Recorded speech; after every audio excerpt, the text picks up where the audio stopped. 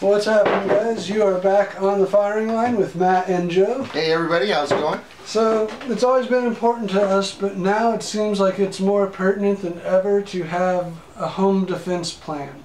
Um, so, what Joe and I kind of uh, wanted to bring to you were um, good firearms for home defense. Absolutely. Yeah. And, and there's a lot of them out there, from pistols to shotguns to rifles to crossbows, whatever you think of. But we wanted to bring them to you in installments of what we think. So we'll do pistols first, and that's what we're going to talk about today. Yep. Um, so on the table here, uh, a bunch of pistols. We have um, pretty much your three most common types of guns.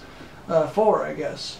Yeah, um, and, and we're not just talking about the firearm, but we're also talking about the action as well. Right, yes, excuse me. Yeah, not the most common brand or the most popular gun, but of between these six guns, that's pretty much every gun is made one of these six ways for the most part.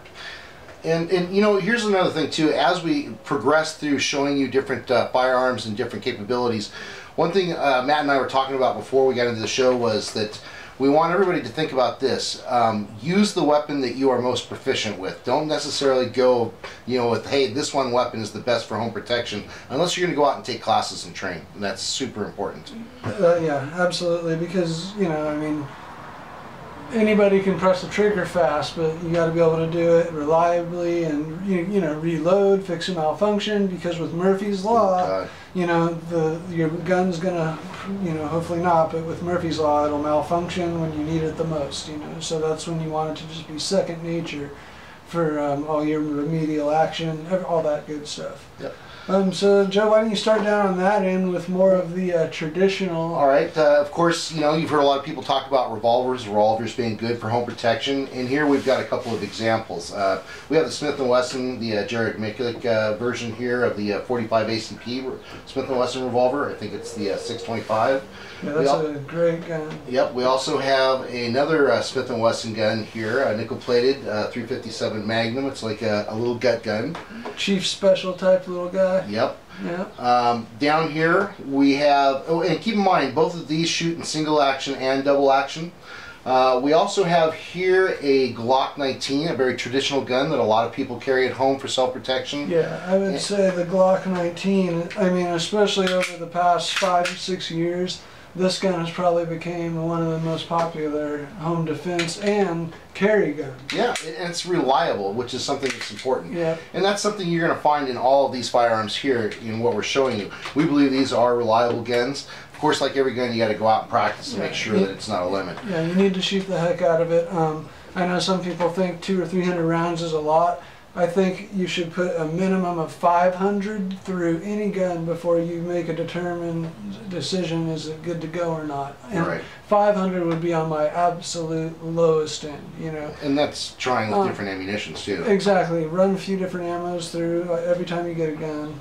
Um, what about Well, next? Uh, next here we have the HK USP. Uh, this one is in 9. Uh, you can, usually you'll find this in 45. And uh, in a 45 model it's very comfortable as well as the 9 millimeter. Uh, but you have, this is a single action and double action. Uh, it also has a decocker and a safety, which you'll find a lot of firearms do not have. And it's a nice feature. Right. Um, very reliable gun as well, very well proven. And uh, that's another gun that uh, you might want to consider.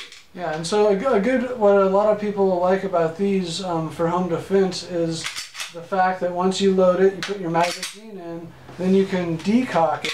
You can drop the hammer basically and turn it into a double action trigger. Right. Um, and that way it's not a real sensitive trigger for a home defense gun. Um, if I had this gun for home defense, I would be carrying it, or I would have it like that probably. yeah. Um, just because you don't want a real super light trigger, you know, when you first grab this thing at 2 in the morning or something. Yeah, you never know what your Um, adrenaline's going to do. But yeah, these UH, U, USPs are uh, built like tanks. Um, we've, we've seen them really, really push the limit of round counts before. Absolutely. And then, of course, down at the uh, end here, we have two 1911s, both shooting 45s. Um, but we kind of point out that uh, these are on different spectrums uh, of price range. Yeah. Both are very reliable, good guns, uh, used very well, and um, practiced with all the time. Um, Yeah, it's um, you know where I the like Glocks, your M and Ps, HKs, things like that. I they are the ultimate in reliability.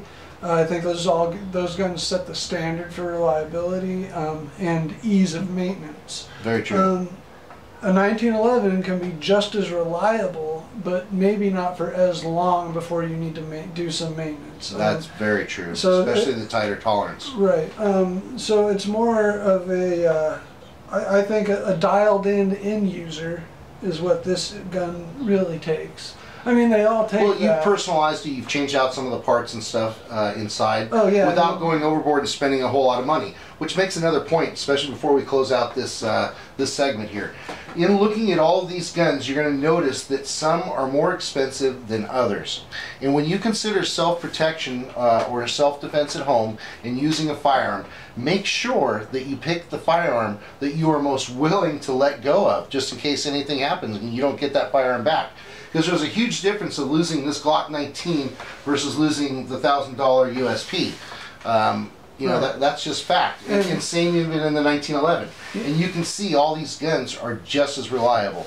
Exactly, and uh, when Joe refers to losing, um, you know, if obviously someone breaks into your house and you have to fire shots into them, you're going to go to court and the gun's going to be used as evidence. So prepare to give that gun up for quite a while, um, maybe forever. Yeah. So that's what he's saying. Um, And who knows now, how they'll treat it. don't let that decision alone dictate you know like if you have a high quality gun then use it you know it's your prerogative just know that um, if it does cross that line you're going to have to forfeit that thing into evidence Yep. so something to think about food for thought and one more thing i wanted to bring up about the uh, little chief special gun there is uh, joe and i have seen countless times at the gun store people come in and wanting to buy that little gun For their wife. for their wife. Yep. or for them because it's their first gun. And what I will say, if there's any gun that is made for an expert, it is that little gun right there. Yeah. That is probably the hardest gun to shoot of every gun on this table. Yet it's the first one that new gun owners go to. Um, so, you know, that's just one of those uh, kind of myths that you hear about. Like, you need to have a little tiny revolver, you know, because if you're a lady, you can't handle the bigger one. Where in reality, that Jerry Miculek Pro would recoil much less Right. and be much easier for anybody, woman or man, to shoot. Um, Yep, That's so you know, keep that in mind. I just wanted to bring that up because you know that gun is a very popular pistol. That those chief special type, you know, 38s and 357s. Um, so keep that in mind. And again, with your 1911s, uh, you can buy a lower end Rock Island, and they are just fine. But run the heck out of it. That's the good thing about it not being expensive. Is I mean, Joe personally replaced I mean half the internals on this thing for me because. I mean, with a the 19 pound spring was down to like seven pounds. yeah, it wasn't when he got it back uh, originally. It wasn't quite meshing, but we Yeah. finally got it working pretty good. and Yeah, It's been operational since. So. yeah, and so I mean, I've shot it enough to where I've had to send it off, you know, and get new parts, and so that's the kind of stuff we're talking about when we say vet your gun. So even though it's an inexpensive gun, I know that it, it works because I've personally shot 10,000 rounds or so through it, you know, just like with the Glock 19s and anything on here. Yep. Um, the more you shoot it, the more, and you know, you're going to build trust in that weapon. And it's like we said in the beginning, you know, become proficient, and that's the weapon that you're going to fall back on for self-defense. Yep. And uh, so this will kind of end our pistol segment here. Um, one thing to say as far as home defense goes, uh, somebody gets shot with a handgun, they're probably going to run away out of your house. Um, you know, don't expect them to uh, disappear into a shower of sparks like in the movies or something. um, generally, unless that somebody gets hit in a vital spot, like in the brain where it's a lights out, generally with a pistol, somebody's probably just going to get hit and not want to get shot anymore and take off, okay? So keep that in mind. Um, and we'll address that in other videos when we talk about long guns coming up here. So stay tuned for uh, on the firing line talking about long guns, and uh, we'll be back to you on the firing line with Matt and Joe. Have fun, be safe. All right, till next time.